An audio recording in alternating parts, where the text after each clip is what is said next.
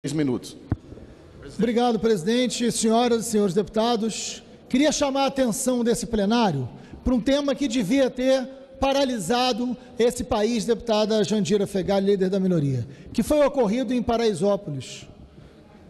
Nove jovens foram mortos numa ação absolutamente inconsequente da Polícia Militar de São Paulo. Nós vamos fazer um debate, deputados e deputadas, de forma muito séria. Essas vidas não podem mais continuar, deputado Vicentinho, sendo descartáveis. Essas vidas não podem mais representar apenas números, deputado Glauber. Nós não podemos passar por isso como se fosse mais um episódio de violência diante de tantos que os mapas de violência nos apresentam, deputado Fontana.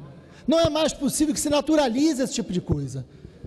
Esse desastre policial precisa ser pensado e precisamos fazer um debate sobre que polícia queremos. Não é esta que age dessa maneira e ainda tenta justificar. Nada pode justificar uma ação tão inconsequente que levou à morte de nove jovens. Importante lembrar, presidente, que a polícia militar surge no Rio de Janeiro, no nosso Rio de Janeiro, deputado Glauber, em 1809, ainda no Brasil colônia. A família real portuguesa tinha acabado de chegar no Brasil em 1808 cria a intendência das polícias para proteger a família real dos negros libertos e dos escravos. Essa é a lógica. Tanto é que no símbolo da Polícia do Rio tem o ramo de café, tem o ramo da cana. É para proteger a propriedade e proteger a nobreza. Essa é a origem daquela polícia.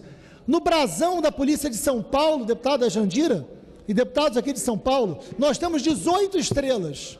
E a Polícia de São Paulo é criada no período da regência, período de muitas mobilizações populares, cabanagem, sabinada, balaiada, revolta dos malês, chibata, canudos. Todas essas revoltas foram no período ali da regência. Quando surge a regência, em 1831, nasce a Polícia de São Paulo, que tem 18 estrelas no seu brasão. Cada estrela foi uma rebelião popular que a polícia atuou contra. Isso está no brasão. Por exemplo, a chibata. A chibata está ali.